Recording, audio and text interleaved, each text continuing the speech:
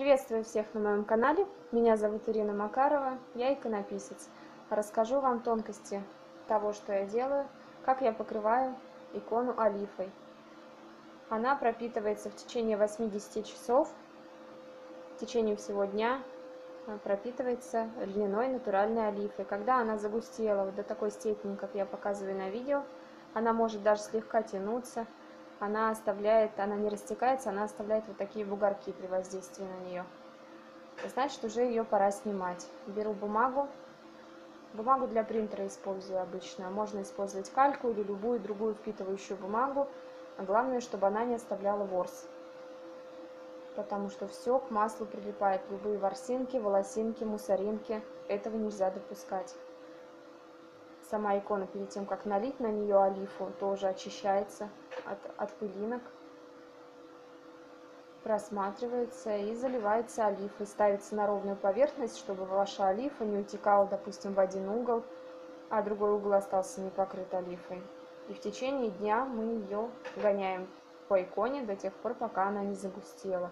Здесь у меня уже показан процесс снятие олифы я ее разравниваю, чтобы остались у меня ровная-ровная поверхность, чтобы я могла потом прекрасно ее покрыть лаком по этой поверхности. Так я ее промакиваю и снимаю. Снимаю аккуратно, без резких движений, чтобы не повредить свою тонкую-тонкую живопись. Живопись у меня миниатюрная.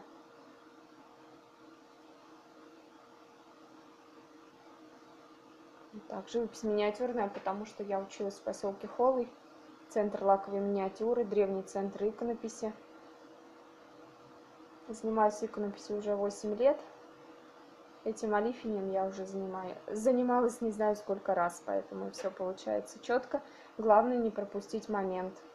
То есть, если вы икону залили олифой, никуда не уходить от иконы, постоянно следить за ней, разглаживать эту олифу смотреть, не поехали ли у вас краски, не размываются ли, не размывается ли золото. То есть все должно быть постоянно под контролем. Даже на видное место советую повесить объявление Алифа. Просто Алифа. И кто видит это объявление, тот напоминает Алифа. Да, я помню. Открываешь коробочку с иконой, заглядываешь, смотришь, все ли в порядке. Погоняла Алифу, и убрала обратно. И так аккуратно нужно снимать, не попадать на золото этой масляной бумагой. Золото требует, не требует оно пропитки олифой, оно требует только покрытия лаком. Золото положено на полимент. Такой древний способ золочения на глину. Способ позволяет прекрасно в будущем отреставрировать икону, даже если вот храме прикладывается к иконе, она, допустим, вся уже облезает от того, что через нее столько количества народу проходит, по золоту бывает, сходит, то этот способ, он позволяет легко отреставрировать икону по золоту. Золото сусальное, листовое, настоящее.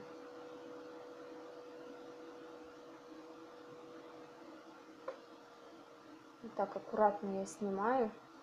Если палец поставить неправильно, то можно ногтем поцарапать даже через бумажку живопись. То есть нужно аккуратно с этим.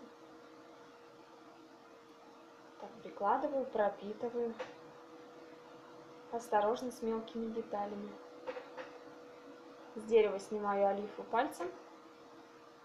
Если бы я приложила туда сразу бумагу, там большое количество было олифу, оно бы расплющилось и утекло на золото. Поэтому я сначала вот так снимаю, вытираю пальцы об бумагу.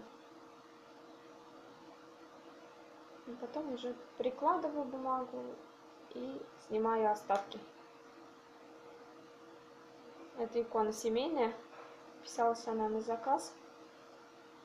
Такой вид иконы, который просто нельзя прийти там купить где-то. То есть она исполняется именно на заказ. Все здесь святые покровители этой семье, всех членов семьи. В центре святые покровители родителей, по краям святые покровители детей. Святые родители изображены на одной горочке. Вот у них под ногами может быть земля в виде горок, может быть позем. Горки, они символизируют наш духовный рост, ступени нашего духовного развития. Вот они изображены на горке. Так, аккуратно снимаю, чтобы не оставалось излишков. Если останутся излишки, у вас все высохнет, а в одном месте будет еще сырое. Так что надо везде все проследить, чтобы было однородно. Вот, делаю движение не к золоту, а от золота к цвету, к цветовым пятнам. Икона написана яичной темперой. Это такие краски на основе натуральных минералов, перетертые вручную с яичной эмульсией. Яичная эмульсия – это смесь желтка и воды. Но эти краски все равно требуют пропитки обязательно олифой. Они даже за счет этого как бы превращаются в масляные краски. То есть все частицы, все слои склеиваются между собой. А иконопись вообще это такая техника многослойная. Слои должны быть тонкие, их много. За счет этого эффект свечения у красок. Краски вот после пропитки олифой начинают особо светиться. Вот когда они в сухом виде, вот их нанесла, эти сырые краски, они высохли, они становятся блеклыми. Как бы иконописец-то понимает, что они будут намного ярче после пропитки. Но вот если вам иконописец показывает готовую работу, то это уже к заказчикам, то учтите, что она будет слегка ярче. Вы даже не увидите всех моментов, пока она в сухом виде а вся она раскроется в своей красе только после покрытия олифой и лаком. Очень такой процесс, когда наливаешь олифу на икону, она начинает светиться, такой краски все проявляются.